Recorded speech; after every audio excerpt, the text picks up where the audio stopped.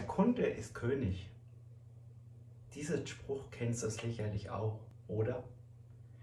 Da ist ein Fehler. Der Kunde ist kein König. Wenn der Kunde König wäre, wärst du als Verkäufer, Verkäuferin ja Kaiser. Willst du Kaiser sein? Ich denke mal nein. Also behandle deinen Kunden nicht als König, sondern als Partner indem du mit deinem Kunden individuelle, lösungsorientierte Probleme für ihn löst.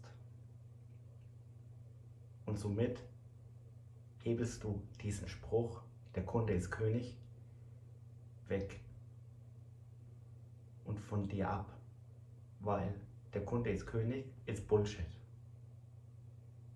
Hör damit auf, dem Kunden alles recht zu machen. Sag lieber, lieber Kunde, wir lösen gemeinsam Ihre Herausforderung und Sie sind mein Partner. Und wir bewegen uns auf Augenhöhe. Sie können mit mir reden, wie Sie mit Ihrer Frau reden. Sehen Sie mich als Partner im Business. So. Wenn du noch mehr wissen möchtest, dann folge mir, mach das Herz rot, das Plus weg und schreib es gerne in die Kommentare. Ich wünsche dir jetzt viel Spaß beim Umsetzen. Dein Michael.